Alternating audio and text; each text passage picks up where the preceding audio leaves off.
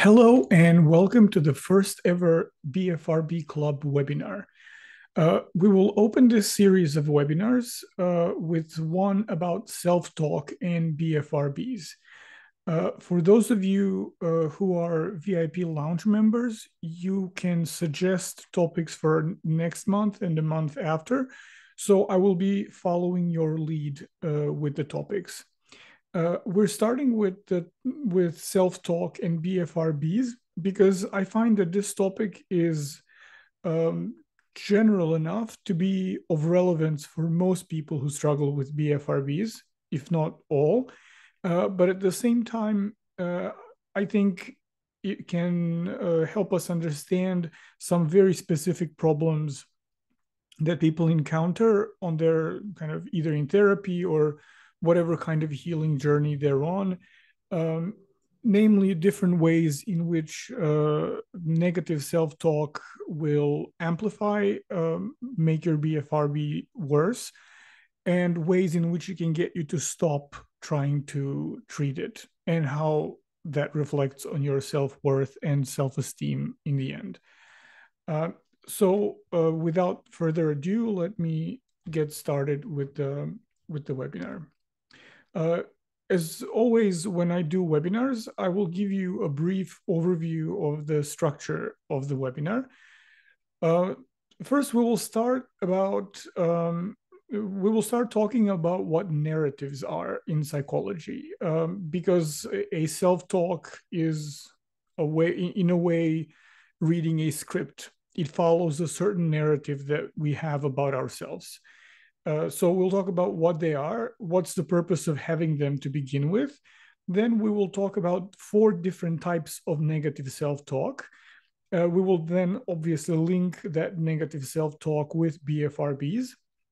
We'll talk about causes and maintenance factors uh, in the sense in which uh, negative self-talk can cause you to pick your skin or pull your hair, uh, and maintenance factors uh, in the sense in which uh, negative self-talk can prevent you from seeking treatment or uh, maintain your BFRB through one of those uh, very annoying vicious cycles that are that we tend to initiate and then cannot get out of.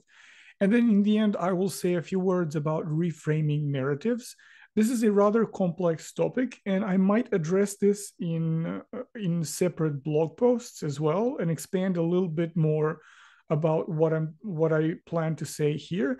And uh, if this is of any interest to you, uh, by all means, I can create a whole webinar about how to change discourse, at least internal discourse around BFRBs.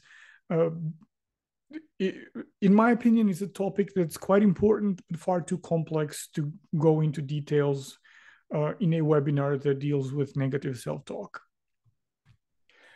So uh, in the broadest sense, uh, narratives in psychology are just stories that we tell ourselves.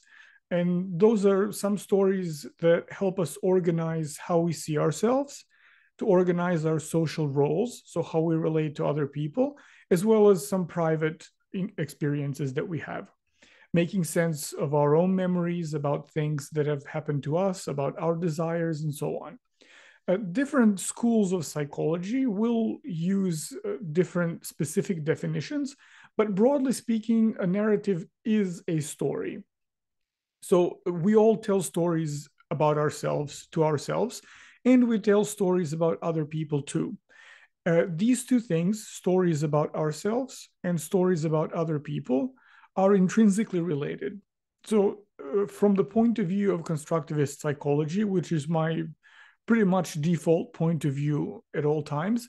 There is really no separating uh, how we who we are from how we are seen and how we want to be seen and the kind of feedback that we get from other people. Essentially from from uh, the point of view of a constructivist psychology our narratives the stories that we tell about the world and ourselves come from the very interaction with the world. So when you talk to people, um, when you hear how they perceive you, um, or you when when you notice something, even if they don't say it, that will change uh, your narrative. but at the same time, that narrative is what will guide your actions. So there's a recursive cycle going on where, uh, based on the stories that we tell, we act in the world in different ways. And then, depending on how these actions um, affect us or whatever desired outcome for us is, we might have to adjust those narratives. So they are dynamic structures. Uh, most of us don't have one and the same story that we tell ourselves our entire lives. However, even when stories evolve, become more complex or simpler, depending on the twists and turns and, and where our lives go, uh, there are certain let's say aspects of those narratives that can sometimes remain maybe not not identical but then certainly stable enough. Uh, this is what gives us the impression that we are always the same person. Uh, the kind what gives us the impression that there is some kind of a stability to our personality. Whereas we are always in motion because we're always interacting with the world. So we're always making small adjustments but small adjustments don't have to affect every single aspect of the story that we tell, just some aspects. Uh, we will see with negative self talk specifically. Uh, unfortunately, and I will say rather obviously, because these things that are very hard to change are usually those things that have been present for a very long time. And negative self talk is one of those so it's it's an element, a part of the complete narrative that we have about ourselves, and it's usually a very old part. And this is why sometimes when when self-talk is very negative, very intense, let's say you've just had a picking or a pulling episode, and then after the initial relief, the guilt sets in. And when you feel guilty, all those uh, all those negative aspects of your self narrative come to the surface and it seems like that is most of you or all of you like there's nothing else. So unfortunately negative self talk has this ability to impose its presence in our psychological space in a way that pushes away everything else that could be valuable uh, or useful in that given moment so if you need one simple definition, the narrative is just a story that we tell about ourselves and about the world. Uh, the question is, do we have just one narrative or do we, do we have many of them? Uh, if you're watching this instead of listening to this, this is a, this is a, uh, a, a part of a painting by Diego Rivera called Weaving. Um, to me, weaving narratives, weaving stories, that, that was the association. So there will be a lot of weavers in this in this presentation. Uh, uh, the point, however, of this slide is to uh, say something else, which is that um, as much as we have this idea that we are one, I don't feel like I'm five people, and hopefully most of you who listen to this don't feel like you're five people, even though in different situations uh, when we play different social roles we can adopt behaviors that are staggeringly different. Uh, for example i know colleagues so other therapists or psychiatrists who in their professional lives have excellent boundaries and then you see them with their loved ones and boundaries are nowhere to be found. So they have one a way of of uh, of telling the story about relationships when they're at work. And then they have a completely different story about how relationships unfold when they're at home. Uh, that tells us that they have more than one, one more than one story that they tell about themselves. Uh, and in fact in order to navigate our lives we most frequently have several competing narratives and so more than one self-image technically speaking. Uh, so we're not as integrated as we may like to think. Uh, back in the beginning of the 20th century, when Freud invented psychoanalysis, uh, one of the things that he talked about is that a personality has to be integrated. Uh, this is because the world back then was much, much simpler. Uh, there was a, um, a Polish British sociologist called Zygmunt Bauman who was not a psychoanalyst himself, but he used some of Freud's ideas in his work. And he talked about how after World War II, essentially, that most of the West went in one direction, and that direction, sociologically speaking, favored individualism over collectivism, for example. And so he said uh, the world became increasingly complex, but we were left to our own devices to figure out the solutions. So some of us have to play uh, not just one role in life, but two, three, or four. And, you know, just on a very banal everyday level, uh, people will do all kinds of things to feed their families including things that they would never like their children to do. So what they have to do is they have to tell two separate stories to themselves. One story of them as them as parents, and then another story of them doing whatever it is that they want to do.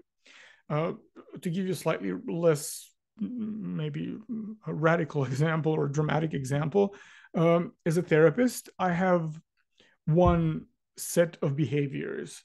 Uh, my clients tell me things I disagree with on on on on the daily basically i in fact i would have to say that in one day i think i hear far more stories that i disagree with choices that i don't think are necessarily the best values that are quite different than mine but in my professional role i have a certain set of um, I, concepts or ways of thinking and ways of behaving that make it very easy for me to work with this.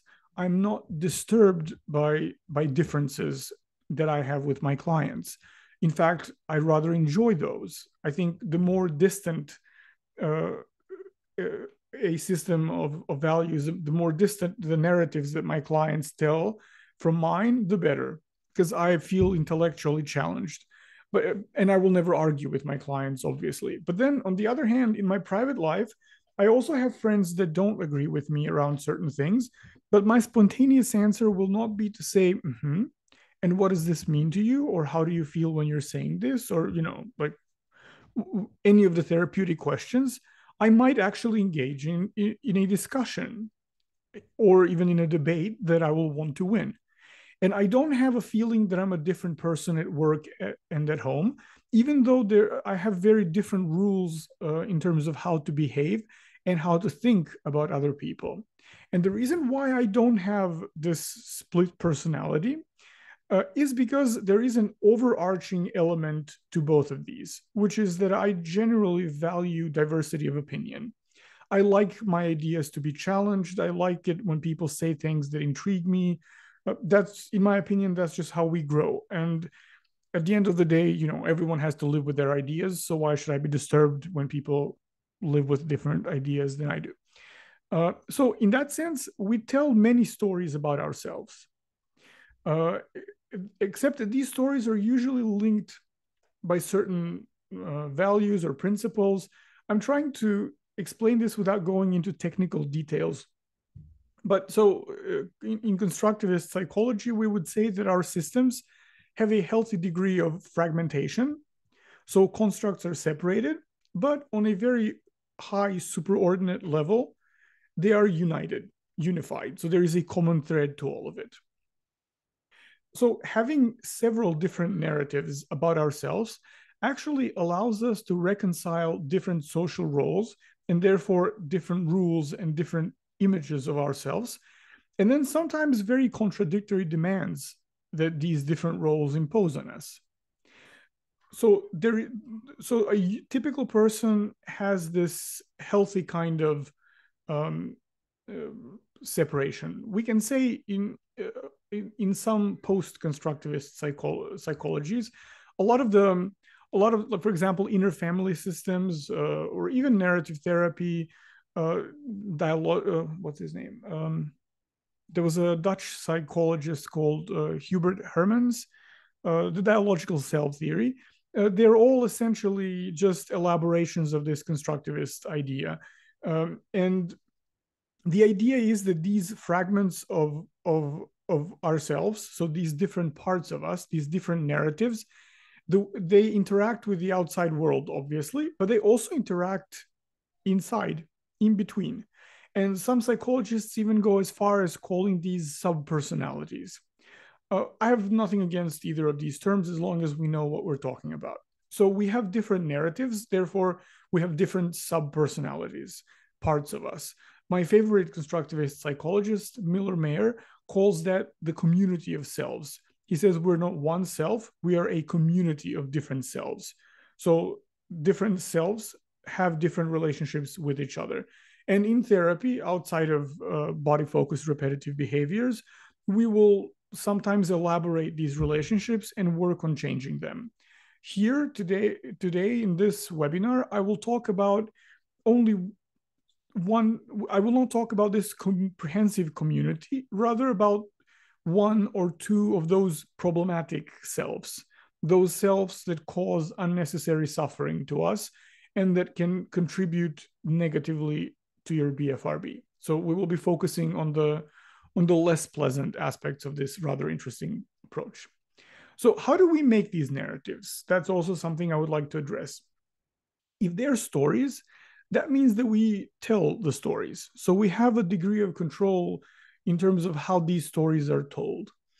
Uh, in constructivist theory, we can make the case very easily that we always choose that everything we do consciously or not is always a choice except that we of course cannot forget that we don't live in a theoretical vacuum we live in in a society and in a culture so certain choices are not ours to make or if they are sometimes their options are presented to us so you can say that a narrative that you have about yourself is an interplay between stories that other people tell about you, stories that you tell about yourself within the confines of what's considered to be acceptable social reality. So there are at least three different levels uh, of, of storytelling here. There's the whole culture that will give us some elements of every story. Those are some concepts like um, race or gender, all these kind of structural things that seem integral to our reality. Um, uh, for example, the notion of marriage is also something that our, that our culture will, will give us. It will it, it has to be an element in our narratives, even if we don't choose marriage necessarily. But then you are a person who has chosen not to get married. And because social reality has this category, you can't really escape it. You can just choose how to relate to it. Then we have the second layer, a little less impersonal, which is the layer of the people that we interact with. So, people that we talk to, people that are our friends, uh, and the stories that they tell about us. And then there are those stories that we personally tell ourselves about ourselves. All these three layers will overlap, sometimes merge, sometimes diverge, but eventually they will make a coherent narrative. Um, so um, let's consider how these narratives relate specifically to BFRBs, because as much as I enjoy talking about um, psychological theories in general, I feel like um, I should probably keep my focus around BFRBs later on, if you would like me to expand on any of this, I would be happy to prepare a blog post, or you can submit uh, submit questions in the Ask Away uh, section, and I will in in the Q and A that I will put out uh, for this webinar in about two weeks. I will I, I will address anything else that you would like to know. Because every element of our lives is covered by a story, BFRBs also have stories that are told around them what your personal narrative around your BFRB is, is really up to you to discover. There are no recipes. Uh, it, and it really depends on the other stories that you have. Some common themes, so not maybe the main elements of every narrative around a BFRB, are things that are concern that concern your what your skin looks like or what your hair looks like. For example, having perfect skin might be at the center of your narrative if you struggle with uh, skin picking. And then what's important for you to look at there is uh, what would be the story about what the perfect skin is? How do you recognize the perfect skin? What's the opposite of the perfect skin? Um, how did you come to the idea that this is important? Was it yours? Was it something from your family, uh, and so on. So that would be an element of of of, a story. Not everyone's, obviously. For example, uh, BFRBs, uh, especially excoriation disorders, so dermatillomania, are connected to our bodies very intimately and sometimes associated with body dysmorphia. Uh, in that in that case, we can say with uh, different uh, and maybe unusual stories that we tell ourselves about our bodies. So, so your relationship to your body, the way that you enjoy your body or not enjoy your body, as body as the case may be. So, love or hatred for the body could be the central elements of the story. Um, it can also be about strength and weakness. This is something that I very frequently hear when people talk about trying to stop uh, pulling or picking. They, they will say, I'm weak, uh, or I should be strong enough to stop. I should have enough willpower to quit this. So, strength weakness would be a dichotomy that seems to play an important role. Then there's the issue of control, like I should have control over this part of my life and then when where the story really comes into play is what does it tell us about us if we don't have control over something you know what kind of a person does that make you uh, i hope you didn't hear that because i don't know how to edit sound but apparently someone is screaming in front of my house um, uh, so a bfrb can play a key role as evidence for a negative narrative that you have about yourself. Uh, if you grew up, for example, in a family that values um, willpower and self control, right? Uh, you see yourself picking or pulling, and then you think, huh, so I'm weak and out of control. Everyone else in my family is in control, but I'm weak and I am out of control. So in that sense, the your BFRB plays a role in separating you from your family. This can be very painful, but also very liberating. So you can see here how very quickly when we start talking about narratives, we move away from the these from from the banality, if you will, of the symptom itself, and move into a rather um, or maybe slightly deeper psychological waters. So it's it's easier to it's easy to to swim to go very deep when you think about narratives rather than just behaviors or just thoughts always think of them in terms of you know what part of the story is this uh, so where does the self-talk uh, play into this um, our self-talk is always a function of the narratives that operate in our minds uh, to put this in simpler terms uh, your negative self talk is determined by the story you tell yourself about yourself. When my negative self talk comes about, I'm going to hate myself probably for different reasons uh, than than most of you, because we're all very different. So our stories have very specific elements that our negative self talk comes from. So the kind, the way that you speak to yourself depends on the kinds of stories you have at your disposal. I mentioned this dichotomy between strong and weak as something that figures into many, many stories that I hear uh, about uh, BFRBs. Um, let's say if that is an aspect of your of, of one or more of your internal narratives, um, then one thing that you can uh, possibly contemplate uh, is um, is how this dimension shapes you, the way your negative self-talk is is played in your head.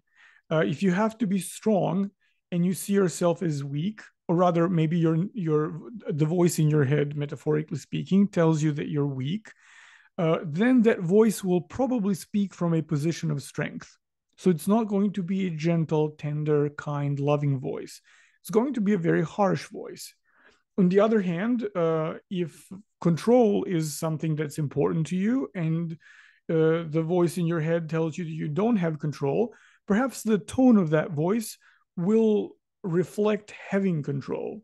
And that means that the voice doesn't have to be very harsh. It can also just be composed and calm. You know, your your inner hater, for, for the lack of a better word, can be like Meryl Streep in Dev- Devil Wears Prada, or it can be like Anthony Hopkins in in The Silence of the Lambs, um, or it can be like um, um, I'm trying to find a raging supervillain, but where are they when you need them? Uh, Charlize Theron comes to my mind in that movie Monster. Um, Aileen Wuornos, as I believe the character. So she was a little more expressive. Let's let's say. So so in that sense, uh, depending on the elements of the story, your self talk and negative self talk as well will have will have different ways of manifesting. You will see that when we start talking about uh, understanding your self talk and changing it, this will actually play a role. Uh, the the last sentence here is crucial Self talk only has power if you actually believe it's true. So, this is the only way your self talk is going to affect you in any way. And I'm saying this because uh, most people by default think of these negative voices in their heads as being uh, true. If you think about it, our brains produce a lot of thoughts, and we don't really think of many of those as being true we have thoughts about hitting people, about you know cussing them out, kicking them out of our houses, all kinds of things. And we rarely ever listen to them because we we are capable of understanding that a lot of what goes on in our heads is just metaphorical. Like how many times has someone told you I'm going to kill you and you don't really think you're going to kill them. At least I don't. I just see that as an indication of my emotional state which is usually frustrated or angry. So it, we don't believe the literal value of our thoughts until they touch those core topics of the narratives that we have about ourselves. Uh, for example, if you tell me that, I don't know, that I suck at cooking, I will probably say, okay, and just continue with my day. You have, if I have a thought, and I frequently have that thought, this meal that you just prepared tastes like shit um, yeah i'll have that thought and i won't care uh, because it doesn't really connect to any fear that i have i don't think of myself as a person who knows how to cook anyway so i don't really care if if i think my own cooking is bad or if someone else does but on the other hand um, i don't know i'm looking at this uh, painting here um, if someone tells me you don't know anything about art history, that might sting a little bit because I like to think that I know a little bit.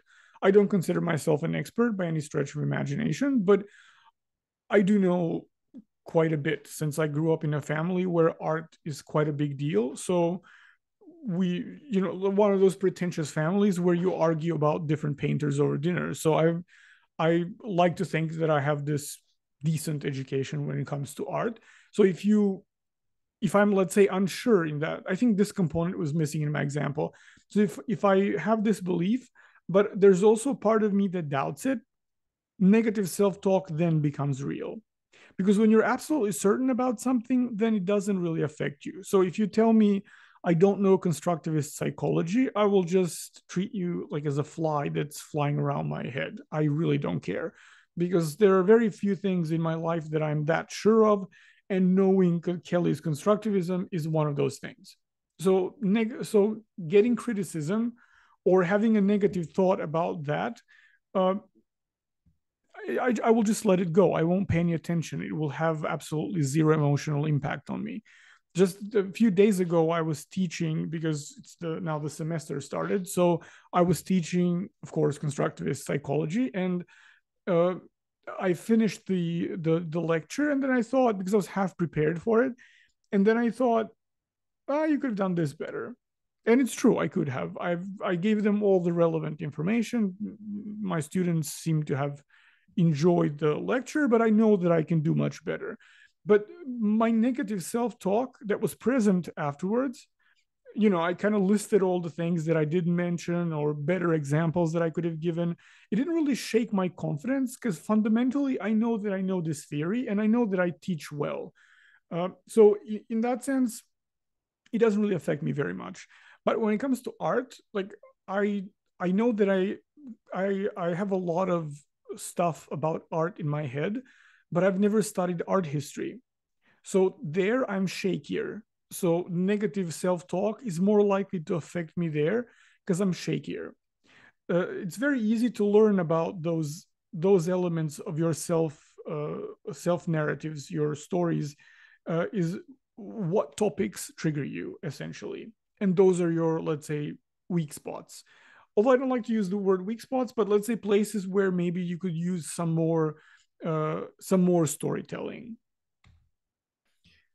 Uh, this is not this classification on four types of negative self-talk is not something that I invented. I come across this every now and then in different CBT books about anxiety. Uh, so I think it's I don't think it works for everyone. I think some people might benefit from combining these. Uh, some people might have to invent their own, uh, uh you know, antagonist and characterize them in the way that works for them. But I find that most people can recognize themselves in at least one of these, which is why this classification is very useful. So therefore, we can talk about four types of self-talk. Uh, the worrier, uh, and here you have two names. If you look at the slide, uh, the worrier, which would be quote unquote the official name, and then Lord of Anxiety, which is how a colleague of mine calls these. So I asked her if I can use her dramatic names, and she said sure. So the worrier or lord of anxiety, the critic or lord of self loathing, uh, the victim, lord of depression, and the perfectionist, lord of not good enough. So essentially, there are four types of self talk a worrier, critic, victim, and perfectionist. I will explain how each of these operate very quickly so that you can see which one rings true for you. Uh, the worrier or lord of anxiety uh, likes uh, so uh, the worrier likes those stories that have very bad outcomes. They don't necessarily put you in a bad light. It's just that the outcome is the worst possible outcome for you. So, in terms of your self worth or or self esteem, uh, the worrier is more or less neutral because it doesn't it doesn't attack that. It just reminds you of all the things that could go wrong. So the worrier fantasizes about catastrophes, about panic, about embarrassment, illness, death, and so on, like all these uh, tragic things. For example, you go to the airport and the worrier says, What if there's a traffic jam and you're late for your flight and then you don't get a refund and you lose your money?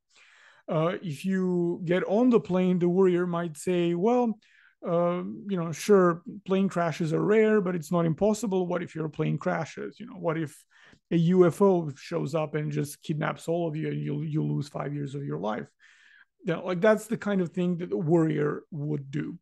So the worrier always wonders about the what ifs in your life. That's that's his or her. I don't know what what gender your your worrier is. It's it's your worrier's main concern it's a voice that you may hear when you're about to start dealing with your BFRB, but when you want to try something new or start again if you had a relapse, that's the kind that's that voice that says, "What if this doesn't help? What if nothing helps? What if I fail again? What if I relapse again?" The worrier doesn't have answers to these questions. Uh, the worrier just has questions and that is precisely why the worrier is called Lord of Anxiety. It's because by not having answers, it provokes anxiety. Because if the worrier says you will uh, relapse again, you can then say, fine, I'll prepare, or I'll try out a better technique. But no, the worrier says, what if nothing helps? Dot, dot, dot. And then it's very easy, it's very tempting even to feel anxious about that. But that's the only thing that the worrier does uh, one thing about these, uh, I like to call them characters because we're talking about storytelling and narratives. So that is that could be rather a part of your personality, one of the sub personalities. The worrier is is the one who just asks questions but never has any answers to them. It's like I don't know if you ever had these professors. I used to have one professor in medical school who annoyed me so much because he was he would answer every question with a question like you ask what happens if you i don't know like subdose someone? Um and then he says that's a very good question. What does happen? And at some point you start thinking well i'm here to learn from you. So why don't you just tell me what happens and save us all the trouble right? So when i'm when i encounter worriers uh, they tend to make me uh, not angry but irritated whereas most people who live with worriers just become anxious and the difference is uh, between how I react to a worrier and how someone who has a worrier as as a part of their personality is that I know what my rights are uh, in a certain relationship, and if I want answers, I need to get answers. You know, either answer or shut up. And when the worrier is a part of you, and you grow up with the worrier, you're used to listening because you know that the worrier never gives any any useful answers. You know, the worrier just asks questions. Then we have something much worse, uh, which is the critic or the, the lord of self-loathing. This uh, image that you have on your right here, this is called the Red Dragon. Uh, it's it was painted by William Blake. Uh, of all the of all the images that I was that I selected for the negative self-talk, this is the most dramatic one, or at least to me, the scariest one, because I think the critic is maybe the most powerful one because the critic is is an explicitly malevolent malevolent part of you whose goal is just to lower your self-esteem and shatter it as much as possible in the long run uh, the worrier might make you insecure but the critic will make your self-worth you know just completely go away or if it has been in your life for a long time maybe the critic never allowed your self-worth to be formed to begin with, right? Uh, so the word the critic will find uh, any achievement that you may be proud of, and then it will destroy it. It will call it dumb, unoriginal, too easy, obvious. Uh, if you do something wrong, the worrier will attach these same labels to you. The worrier will tell you you're stupid. You have no idea what you're doing uh, if you let's say you want to start therapy for i don't know hair pulling uh, the worrier might say what if what if this therapy doesn't help me or uh, what if i need therapy forever but the critic will say even a therapist can't help you because you cannot be helped that's how fucked up you are also one thing that i like about the bfrb club is that um, this is my platform, so I can swear if I want to swear. Uh, I don't have to be worried about what YouTube will say. Uh, so, but that's that's how the critic speaks. There is no gentleness or or compassion or love. The critic is there to destroy you, and his or her job is to negatively evaluate every single thing that you do. So that's the critic. Then we have the victim or Lord of Depression. Uh, so, uh, Lord of Depression is um, is more subtle. He works slowly. His voice is quiet. He doesn't make scenes. He doesn't use very strong words. I'm saying he, and I don't know why, because again, the gender of your sub personalities is, is really up to you to decide. I think it's maybe because I see this devil on the right on the painting, and I think to me this looks like a he, but I don't know. That just maybe says something about how I see man. Um, but this entity that stands on, on top of this woman who's in complete state of desperation, uh, that would be the, the Lord of Depression, right? He turns you into a victim.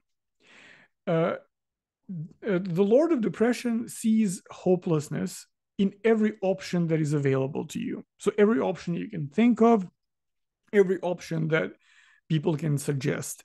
I don't know if you've ever been in that situation um, where, uh, so for example, I have a friend whose negative self talk is usually this type.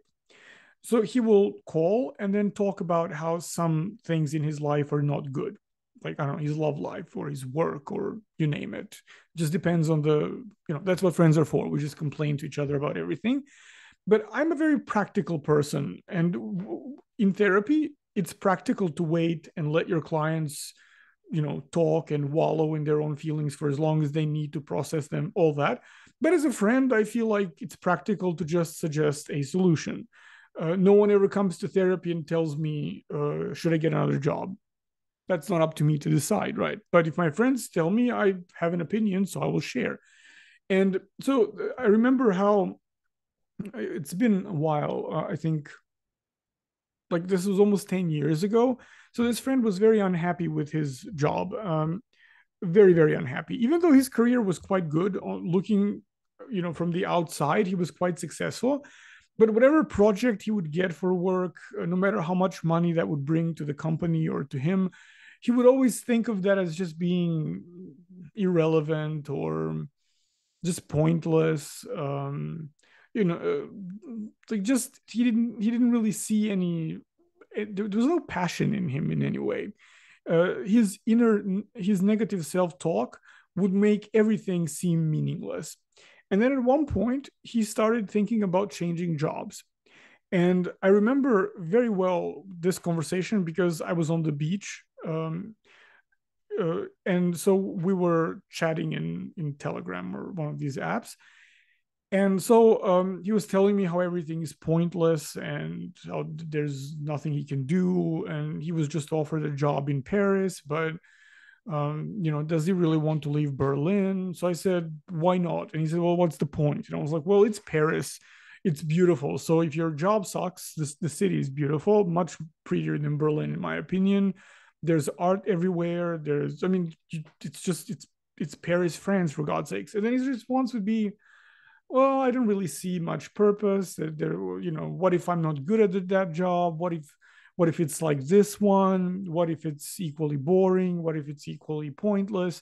Then I told him, well, I don't know what to tell you. Just come to Miami. Like, just do that. And then he said, yeah, but you know, Miami is expensive. And I said, well, don't worry. We'll find you a place to stay for as long as you need. You'll get a job. And then he was like, what, what if I don't get a job? So that's the Lord of Depression. No matter what you say, and no matter how many things that you that you throw at someone, Lord of Depression will make every one of these options seem just pointless. Uh, that kind of self talk likes to complain, constantly has regrets, always or frequently feels guilt about something. For example, when you interact with someone else's uh, negative self-talk of this type like when i was talking to to my friend uh, he at, at one point made me angry. And i said well, well what do you want me to do? And then he responded with well that was always your problem. You just want to do something like it leads to anything. And then i thought okay this is just a pointless conversation. Let me just send him a cat meme and then we can get it over with. So that's the lord of depression. It gets you to give up right? Uh, other people, when when your Lord of Depression takes over, other people might be angry with you because if they start offering alternatives, uh, your helplessness and hopelessness, well, not yours, Lord of Depression's hopelessness, disarms them very easily. But the, the basic message that, that the victim or the Lord of Depression sends is that there is something inherently wrong about you. Like you have obstacles that, that simply are unsurmountable. There's nothing you can do to get out of it and then we have the perfectionist uh, or the lord of not good enough uh, the perfectionist's fundamental message is that you're not good enough no matter what you do uh, the perfectionist actually has very little understanding of what is it that you want to do but what the perfectionist does is that, that he or she confuses the map with the territory. Uh, the perfectionist sees an idealized version of something. So he here they, they see this image in your mind, and everything that doesn't correspond perfectly with that image is simply not good enough. So the perfectionist will talk about what you must do, what you should do because the perfectionist can only see the image that you imagine or that the perfectionist imagines. The perfectionist isn't capable of coming back to earth and then looking at the context of your actual lived experience. the it does the, the perfectionist doesn't know how to appreciate the efforts that you make. The perfectionist doesn't appreciate the limitations that you have in a given moment. It's certainly never pleasant to talk about the ways in which we are all limited but we are. So the perfectionist is has this fundamental blind spot. Uh, so whatever you do the perfectionist is going to say well you could have done it a little bit better. You could have invested yourself a little more. Oh you could have seen that coming. In fact you should have seen that coming. Uh, well you must do this in this situation. Uh, if you want to be productive no matter how much you work the perfectionist will say well you could work you know 15 minutes more or you could have worked instead of slept you know that's the way the perfectionist talks. In the long run when one lives with the lord of not good enough that leads to burnout to chronic stress to exhaustion right? There's a difference however don't confuse the perfectionist and the critic. If i had to choose my favorites i definitely have my favorites there. Perfectionism is to be sure a difficult issue to deal with uh, uh, someone in one of the one of the webinars that i did uh, for uh, for SkinPick or for TrichStop uh, someone said that they are a recovering perfectionist. So that tells you just the phrase tells you how difficult and demanding it is to get rid of the Lord of not good enough. But he pales compared to the critic. And the reason why he pales is, is because the, the perfectionist doesn't want to destroy you. His intentions are obviously good. He wants you to do better. I'm, or, you know, the perfectionist wants you to be or as perfectionists say i just want to be perfect and i always wonder if they're aware of the irony of just next to perfection right so that's what the perfe- perfectionist wants whereas the critic the critic wants you you know in tears the critic doesn't want you to think anything good about yourself ever so there's this there's this obvious glaring difference the, the, the perfectionists, they're both destructive. All four are destructive, but the critic is the only one that is overtly destructive. Okay, so let's link this to BFRBs so that you haven't been listening to me for all this time in vain. Uh, I should say that there are two different ways in which I've only drawn one here, and I should have maybe added more to make things slightly more complicated. But let's start with what's on the on the this arrow. I don't know how else to call it. So this would be the standard way of how picking or pulling can start. Let's say that you you face a task at work. Uh, there's a lot to do. You're overwhelmed and then when you realize that you might screw up or you might not finish things in time, negative self-talk comes about. You know, if you have the worrier, he's going to go or he's going to talk about, you know, what if you don't finish? What will your boss think? Uh, what if you don't do it well enough? Uh, the perfectionist might chime in and say, of course, you know, you should do it like this. It must be done this way. The critic will say, you suck. So no matter how much you try, you're just going to fail because you're a failure um, you know the the the victim might say ah it's never going to be good enough because it's me. I just can't do things well enough. But this kind of negative self-talk is going to lead to anxiety to irritation to hopelessness to any kind of difficult emotion. And when difficult emotions build up we know that the urge to pick or to pull is really just around the corner. And then once the urge becomes it doesn't even have to become overwhelming. It just has to show up. And then one of the four uh, one of the four people that i've just described is going to pick up on the fact that the urge is there. And then the victim will say well you know the urge is there so i might as well pull now. Uh, the critic will say go ahead. You know you suck so much that you'd maybe even deserve to pull. Do you think you deserve better? That would be the critic uh, the perfectionist will look at this and say, no, you mustn't pull a single hair. And that's going to make your anxiety, of course, even worse. And then the urge will become overwhelming, and then you might end up pulling. So each of these uh, will have um, will have a, a, role to play. uh, or the, the worrier might say, you know, what if the urge gets stronger? Oh my God, what then? What will happen? What if I cave in and pick? Uh, and then as you think this, it just feeds into the anxiety. So the negative self-talk actually has at least two places in which it, it acts. One is that it can initiate the whole sequence. And then the second one is that it amplifies the urge once the urge is there or whatever negative emotion might you know you you experience so it can both start and serve as an amplifier so that you get to the point where you pick or pull a little bit faster. And sometimes the, what i didn't put here and what i think is really important is to consider how bfrbs actually fit well into the stories that these parts of you actually have about the rest of you. If the the the, the worrier's story is the what if things go wrong story this is a story of someone who's very insecure right what's the role of the bfrb there? Perhaps pulling sometimes serves to quiet down the what ifs or at least the the emotional effects of the what ifs. Uh, sometimes uh, people will pick their skin and then the critic might show up and say you're worthless human because you pick.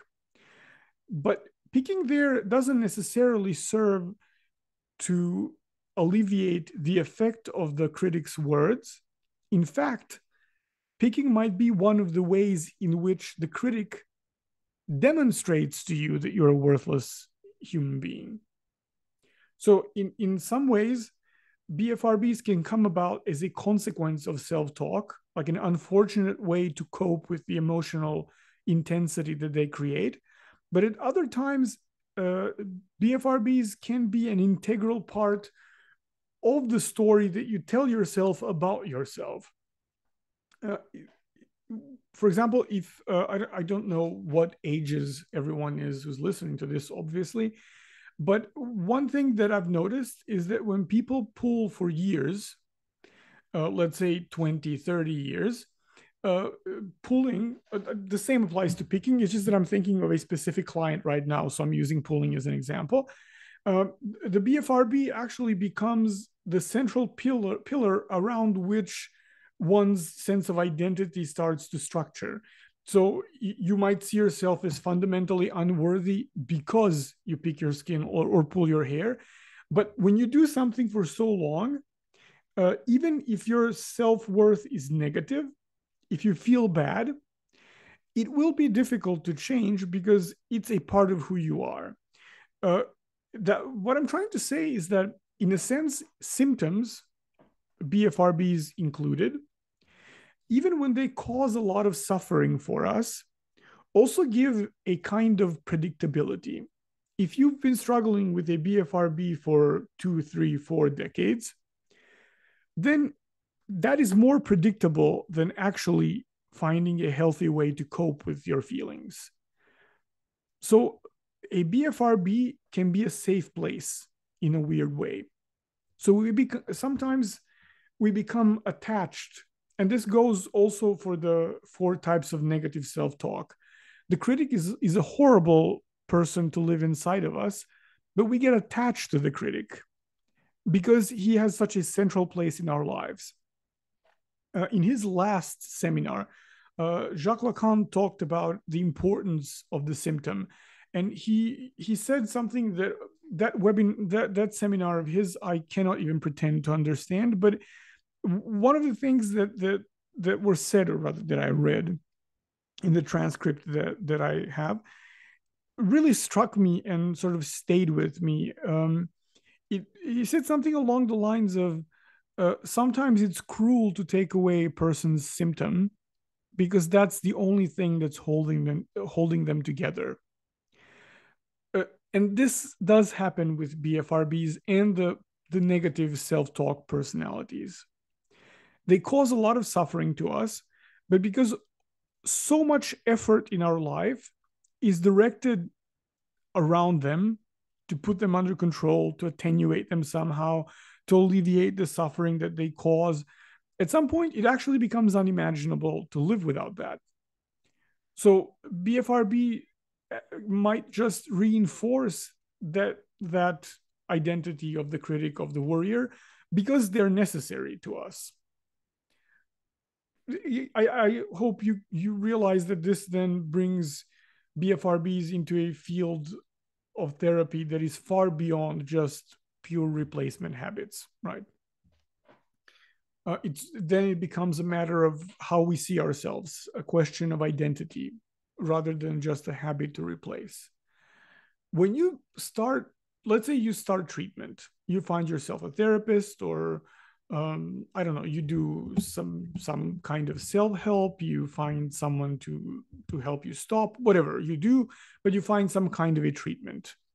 Then, as it always goes, your enthusiasm for the treatment wears off at some point, and you encounter your first obstacles. And then maybe the victim shows up, and then the victim says, "There you go, you've relapsed again. You might as well give up now." And then if you still believe that part of you, if that part of you holds sway over you, you might actually give up. Uh, and then you give up. And then let's say you have the critic as well. And then the critic says, Of course you gave up. You always give up because you're a failure. And then you feel guilt. And that lowers your self esteem, it lowers your self worth. You feel like you're wrong.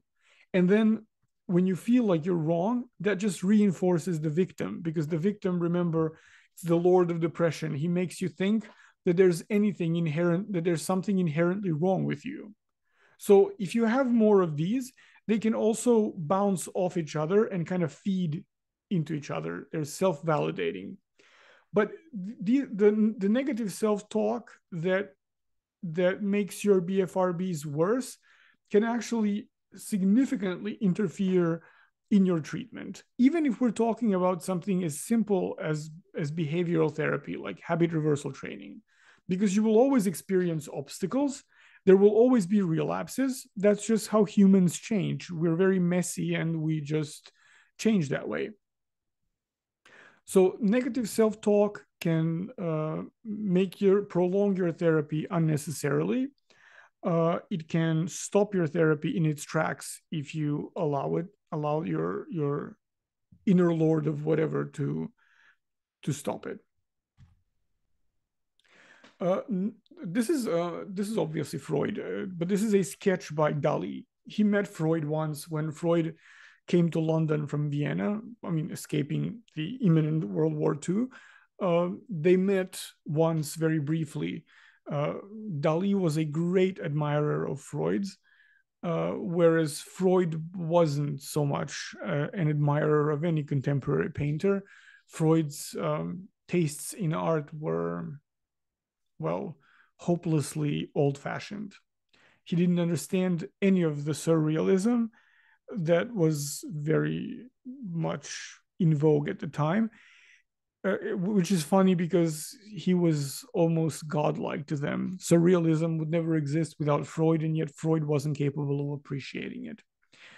Um, anyways, so uh, negative self talk usually comes from the messages that we got from important figures growing up. So, parents, guardians, authority figures. Uh, and this doesn't mean that you had a mother who wanted to instill the critic in you so that you never feel confident. I don't think a parent thinks that way. I don't honestly. I don't. I. I don't think really. I. I would be surprised if there are many parents out there who say, "Let me just say these things to my child and destroy their self confidence forever." Right? That's not exactly how it works. We internalize our understanding of their words, and when we're little, we're not quite capable, or at least not very proficient in perspective taking so we don't think in terms of what are our parents actually expressing by using these harsh words. We just take those harsh words to be truths and we work with it. So we internalize our interpretation, and these internalized constructs take on a life of their own, become one of the stories that we tell about ourselves, right? And then they live inside of us like these little voices that nag and criticize so they come from relationships with important figures but that doesn't mean that those figures are are bad people in any way Uh, sometimes it might mean they're difficult people, but it doesn't mean they're bad people, and it doesn't mean that their intention was to do that. Um, uh, I'm saying this because I see this frequently in therapy that when we trace back some unhealthy patterns or ways of thinking back to one's parents, my clients then become very defensive. They say things like, uh, I don't want to talk badly about my parents. I had great parents, you know, and it's never about the parents. I don't even know what your parents are like. For all I know, you can tell me your father was a monster, and I still don't know what your father's like. I know that you see him as a monster. That's it. But that's in therapy, frankly, that's all I need to know. So in that sense, it's don't be shy to think in the in that way and to look at look at the evolution of your negative self-talk honestly. Uh, because it's not about them, it's about how you saw them.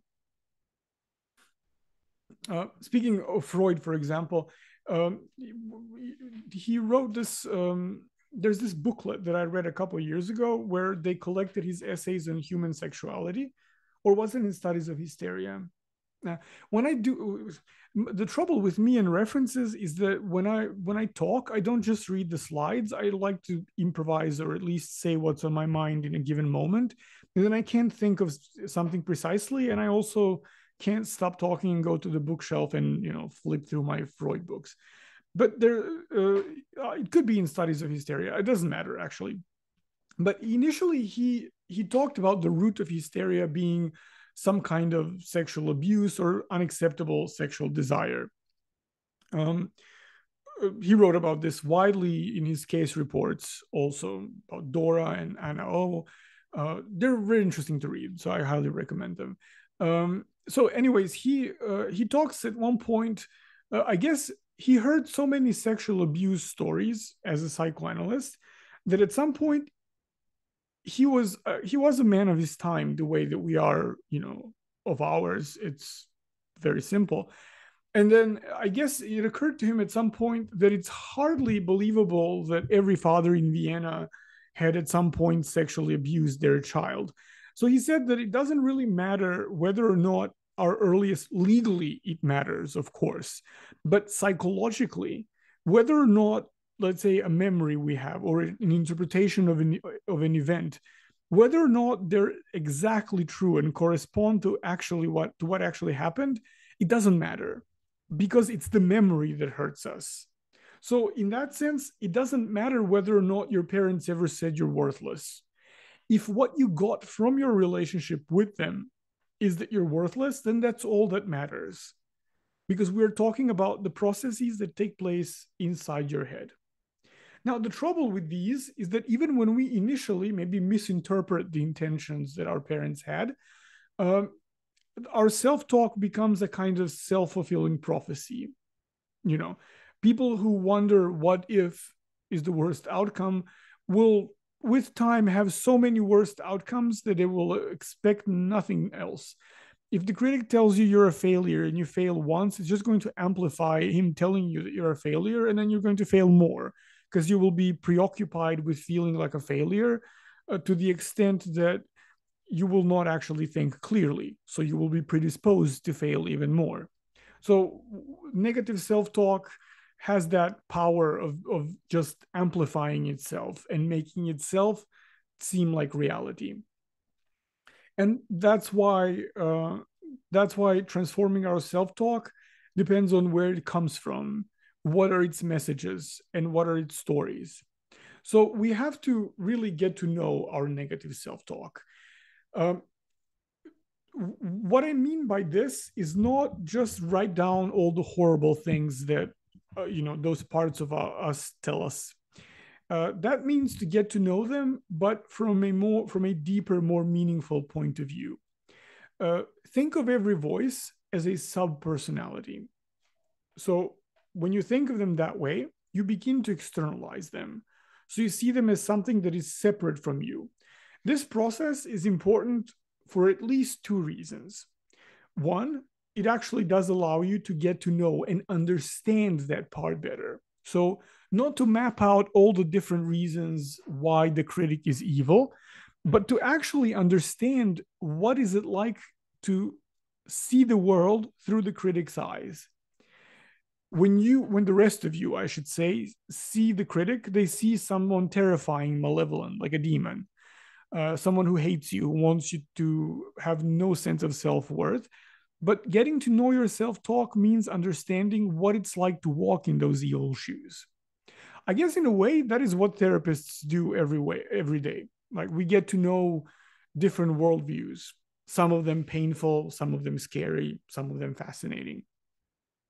So uh, the procedure, the whole procedure of getting to know your self-talk so that you could change it, can be described as a combination of introspection and diffusion. Because when you externalize, you can look at your sub personality from different points of view and learn about it. So that would be the introspection part. But you start looking at that voice as something that is not you. So you de identify with the voice, or what we call in acceptance and commitment therapy, diffusion. So you're no longer glued to that voice. Because by getting to know your perfectionist, you are you are impl- you're using a skill against the perfectionist that the perfectionist doesn't have and doesn't see, which is context. So when you understand the context of of let's say the perfectionist psyche, you will understand those words in a different way.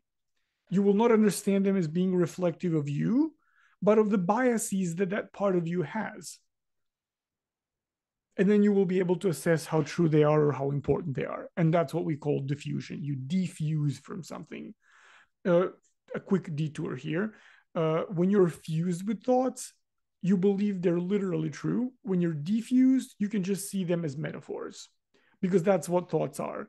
Uh, the same way that that you know when you think of a feeling and then you think of a song, that song might be a symbol of how you feel.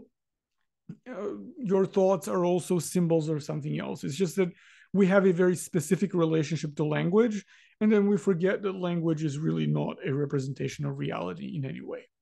So, how do you get to know your negative self talk? Uh, first, uh, write down the content of your self talk. We have to start from the surface. What is it? Um, what is it that your uh, voice tells you? Just write them down. Write these things down in the most concrete way. It doesn't have to be profound. If the voice is you didn't make coffee well, then just write that down. Right make a list, as long a list as possible. And the good time to make the list is when the voice is active. By making the list in that moment, you're actually separating yourself from the, the voice. So it can also help calm you down it will obviously give you the best possible information. Then, once you have enough information, just read through all that, see what repeats, and see if you can identify the type. Which one of the four that I described is your uh, is your type of negative self-talk maybe it's a combination right uh, if that's if it's a combination you can come up with your own word for it over the years i've had clients who would give names to their uh, to their self-talk like brian you know um, in fact i guess this is a good moment to, to display uh, a very esoteric form of knowledge which is drag race um, so there's a uh, there was a podcast that RuPaul used to do, or maybe he does it. I just don't listen to it anymore. Um, and he would interview some of the drag queens from his show, and one of them, Katya, is completely fascinating. Um, talked about uh, how she used to have this voice that she called Linda, and Linda would come sometimes before her performances and then tell her that she will suck, that no one will like her, that she's weird, that her sense of humor is not very relatable, like all these awful things. And then one day, Katya invented a new character called Carl. And then Carl, when Linda shows up, Katya would invoke Carl, and then Carl would come and say, and I quote, Oh, shut the fuck up, Linda. And then Linda would have to go away.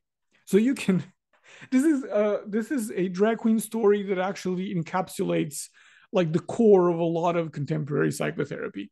Um, so come up with a name. If the worrier is not good for you, or the perfectionist, or Lord of self-loathing, if none of these names seem appropriate to you, just come up with a name. It could be Stacy, Jennifer, you know, whatever, Robert, doesn't matter. Uh, then once you have a name, uh, if you have a hard time coming up with your name, maybe you want to do the third step first and then come back to the name. The third step is then to to to determine the kind of voice that this is. So read some of the stuff that you wrote down, read it out loud, and then experiment with different voices and different intonations. Try saying it with a higher pitch, with a lower pitch. Uh, try saying it slowly uh, out loud. If you speak different languages, try you know speaking in different languages. Um, describe the voice that suits this particular part of you the best, and then start visualizing its appearance. Like if it's a male voice, then is it a young male voice or an old male voice? Uh, what would be an appropriate posture for the person that's that speaks in that specific way? If it's an old man, you know, does he stand tall? Is he in a good shape or in a bad shape? Uh, how would this person dress? I, I know that this sounds strange, but try to do that with as much detail as you can. Like give it, give your sub personality as many personality traits as you possibly can. So build on the voice, create a person out of it. But try then to understand that person. And this is this is I will tell you some techniques how you can understand that person. But let me explain what the goal of the whole process is. Uh, as the Rolling Stones song says, it's sympathy for the devil. That is the point. The point is for you to step into the shoes of that dark side of you and understand the logic so that you can put their messages in their proper context. Because only then can we start changing these messages.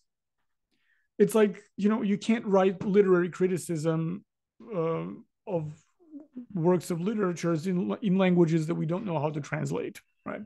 This is why we don't have that much commentary on Etruscan literature because we've never deciphered the language. So you have to decipher the language, understand the context, how wh- what is the world that this character inhabits. If you can cultivate the right attitude, uh, this is a quote from the Dalai Lama. If you can cultivate the right attitude, your enemies are your best spiritual teachers because their presence provides you with the opportunity to enhance and develop tolerance patience, and understanding. And you have an inner enemy already, so you have a chance to practice every day.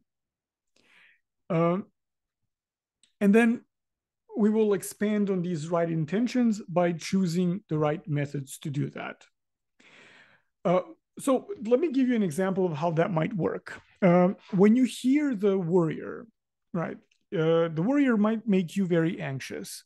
I'm talking now in generic terms. This, of course, might not be true for everyone, but this is just to illustrate the context.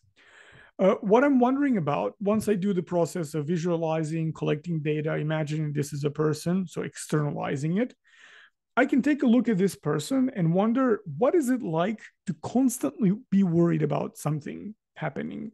Like, what is it like to always be on the precipice of some kind of disaster? to see a flower and think it's going to wither away, to see a beautiful house and think it's going to crumble. Uh, I don't know, like visit the St. Peter's Cathedral, see Michelangelo's La Pietà, and then think, what if someone vandalizes it and then it's destroyed forever? It's a very joyless world. It's a world where uh, there's no safety, there's no security. So, that part of you that tells you all these things that make you anxious actually says that because maybe they come from a place where nothing is safe, a part that feels extremely unsafe. And someone that feels extremely unsafe perhaps needs to learn how to feel safer. So, a new narrative should perhaps include this topic of safety. We can think, let's say, the perfectionist. Uh, the perfectionist is very annoying with his musts, shoulds, have tos. But maybe you can imagine uh, if you if you if you succeed in connecting the perfectionist to one of your parents maybe then you can think okay so this annoying voice that makes me feel horrible so frequently could actually have parental intentions. So something that my uh, something that my parents would have said. And my parents would have said these things to me because they want me to do better not because they want me to fail.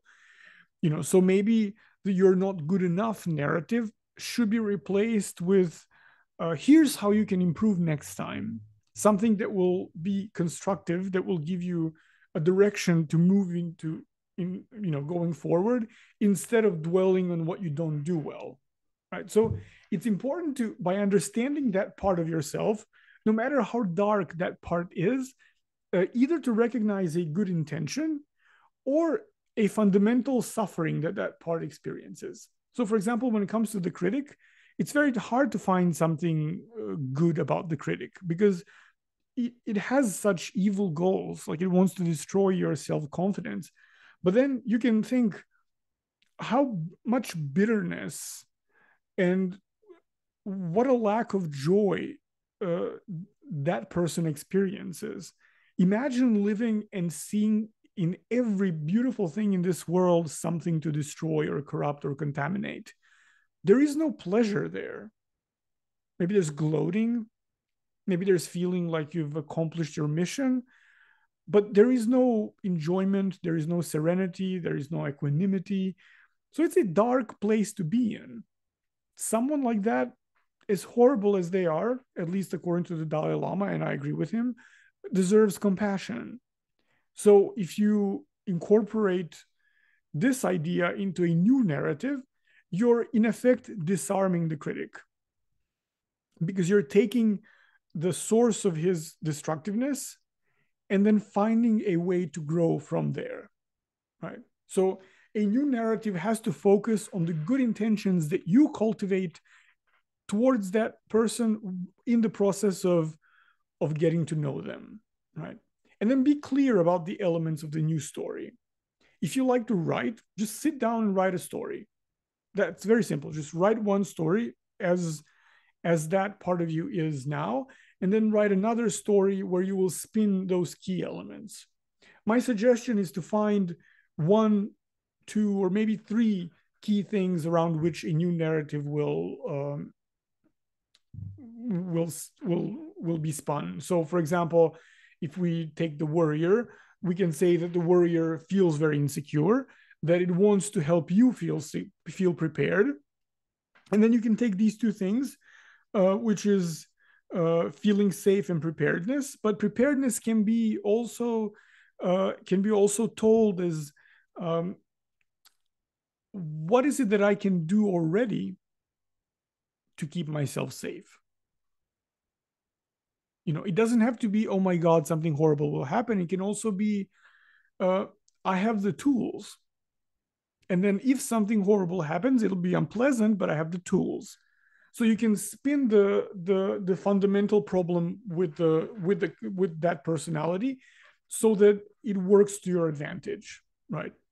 The key points of your new narrative should include your values or let's say the values of other parts of your personality and especially those values that actually overlap with that specific sub personality so if you if we if you take the perfectionist or even the victim, uh, you could very well share values with them. The victim also wants to live a meaningful life, except that it believes that there's something intrinsically wrong with you, so you can't. But of course, then you have to spin that value in a in a different way. The perfectionist also wants you to be successful at your career, and it'll take you straight to burnout with with their you know with the imperatives of productivity and ne- things being always unfinished and, and never good enough but then you can you can you can reframe this to be i have to rest precisely so that i could be prepared when i go to work so that my brain works so that my body serves me right uh, you can learn you can introduce the notion of context into into the perfectionist's life because that is what the perfectionist is missing. So, what do we do with this? Uh, you can start off uh, in some of the following ways. You can write a letter to your critic or your perfectionist or your victim, you know, whatever, however you imagine that part of you. Uh, and in that letter, you can you can explain your point of view and that letter should be should not be typed up in five minutes on your lunch break. Just give it some time, really feel the letter, work on it for a long periods of time. You can use the hot seat technique, which is something that we use in therapy, or more specifically in offline therapy and in workshops, where we take two chairs, you sit on one, and then we imagine, I don't know, like the the critic on the other chair, and then you two have a conversation. You engage in dialogue. And then you get to explain how you feel, the critic gets to respond, and then you try to take each other's perspectives. Uh, you can actually do this on your own. And trust me, doing that with chairs and walking around from one chair to another as you as, as you're having the conversation this can really be very helpful i know it sounds silly and it looks silly but this is actually one of the more powerful therapeutic techniques that i know of it's it's fascinatingly powerful even when it's done on your own you can journal but with perspective taking so you can create a journal uh, from the point of view of the critic you can practice compassionate rephrasing this is important because uh, there's no point in arguing with these voices. You will just make your BFRB worse should you do that. Our minds have a particular trollish quality. And then the more you argue with them, the worse they get. It really is like online trolls. Who has ever won uh, an argument with someone online? Never. Because they'll come back with ridiculous arguments, uh, with you know they will strawman you to death. So it's not possible to win, but you can compassionately rephrase. So a worrier, your worrier comes about and says, "Oh my God, what if this competing response that I'm trying to implement now fails?" And then one way to rephrase this is um, you can you can either you can either say um, something along the lines of um, I have the um, I'm trying to I use an example and I'm trying to figure out how to rephrase it. Um, so if if let's say the main worry is uh, my competing response is going to fail, you can say uh, you can rephrase this as as the worrier is afraid that my competing response might fail and this is making me feel anxious. So I will come up with a backup. Or you can simply remind the worrier that there are many competing responses out there. There are so many tools that you can use. Right. So you can also do that. You shouldn't say your worry is invalid. That's not the way to go. The way to go is to say, I understand, but here's how we can minimize the damage should this happen, or uh, look, we have a wealth of resources that we can choose from. You can also use nonverbal gestures, things that would calm you down. For example, putting one hand on your chest and another hand on your belly, or just one hand on your chest.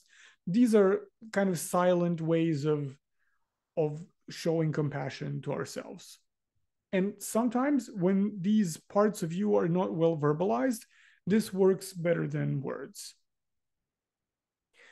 Uh, so this concludes our first uh, BFRB Club webinar. Uh, thank you for listening. Um, I, I'm, I hope you've actually made it this far. Uh, we will be having these monthly and check out the post below. I, I will post a few questions about the format of these webinars because I would like you input, your input. After all, I am making them for you. Uh, thank you very much. And um, until next month.